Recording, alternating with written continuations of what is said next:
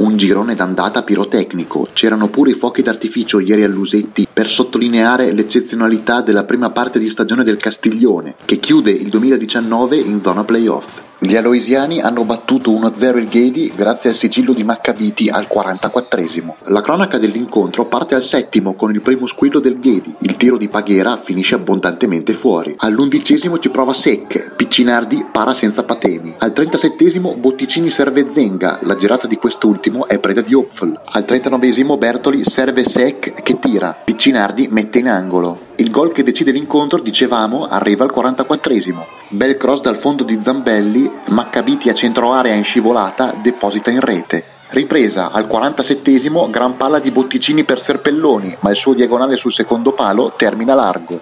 Al 53esimo si rivede il Ghedi, girata di Hassan, Piccinardi si rifugia in corner. Ancora Ghedi al 73esimo, ottima chance per Paghera, gran risposta distinto di Piccinardi. All'87esimo il Castiglione ha la chance di chiuderla, discesa di Zambelli che serve stavolta Serpelloni, ma la conclusione di quest'ultimo è da dimenticare.